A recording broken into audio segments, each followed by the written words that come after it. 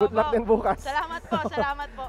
Okay, let's now go to the highlights of the uh, game. And actually, this is the semifinals where the Uratex Dream faced off with uh, Uratex Tibay in the first semifinal match.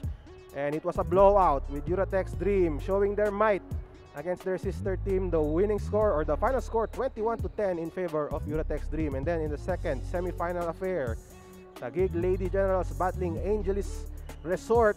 And it was a close game but Snow Peñaranda took over in the late goings of this matchup. And this turnaround shot one of the key baskets for Taguig they won against Angeles Resort 14 to 11 and in the championship game it was all Taguig Lady Generals. They took advantage of the struggles of Uratex Dream from the outside. April Siat with this foul line jumper and Siat with another shot inside but Snow Peñaranda with the key baskets in the championship game and this putback one of the crucial baskets. Taguig winning this one 13 to 7 the Lady Generals the champions